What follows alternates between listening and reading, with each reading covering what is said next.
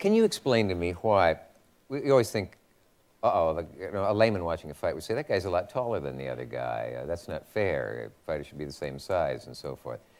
Can you show me why not being as tall as the other guy can be an advantage? Well, um, like I said before, it's all psychological. If you believe that a guy, everyone always say this guy has an advantage, a seven inch reach advantage, four inch height advantage. No one ever says he has a four inch height disadvantage. Well, let's stand for a second. We'll see. Just, I think a verbal explanation would be just as good as, as the other kind. But yeah, okay. So just okay. So you're you're what? Um, five seven, right? Five seven. I'm six two. It's the cameras.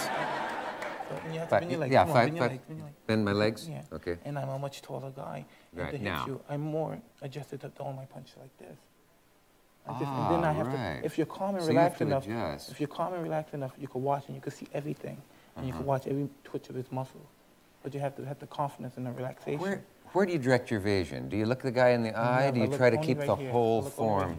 because his face can't hit me, so I only watch right here. I watch his face. Right.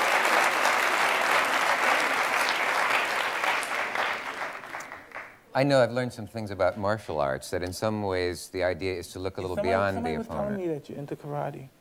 Uh, not so much karate as uh? Aikido, yeah. I'll show you what I did to Piscopo. It won't work Oh, with no, you, but. no, Huh? No, come on, you said you have no fear. Can you just hold my wrists? Now, with not- this. not If, Dick. Dick, Dick, ho- hold it real tight now. do anything foolish. No, I won't do anything foolish. Because you're. I, I know you're worth a lot of money. I've taken a lot of criticism for this. The, the, right on the wrist, where it's where I have the. Yeah, good. Now, a, a really strong guy holding me like that. Don't be upset. Don't do it. No, I won't. No, it won't hurt. I won't be embarrassed if nothing. But if you just hold me down like that, oh. and this is something you illustrated, if I don't think of the place you're holding me, I'm trying to pull up now, and you're holding me down. Really hold me down. Oh. Good. What are you, a panty waist? Hold me down. now, obviously, I can't move, and no human being could. But the 87 year old founder of Aikido, with the world's strongest man holding him like this, you got me? You do, tell the truth, because people believe in you, you're a role model. The old, the founder of Aikido at 87, being held this way, could do that. Legit? Yeah, all right, but what Duke? Dukin, hold tight. Oh, now you're playing for real. Hey-ya! Isn't that remarkable? All right, but what is the purpose? No one, if somebody's gonna mug you, nobody's gonna go like this. Oh, yeah? Wait.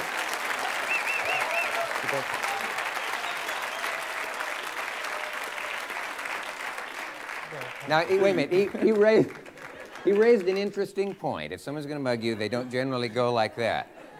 But if they do, you can do like that. We will.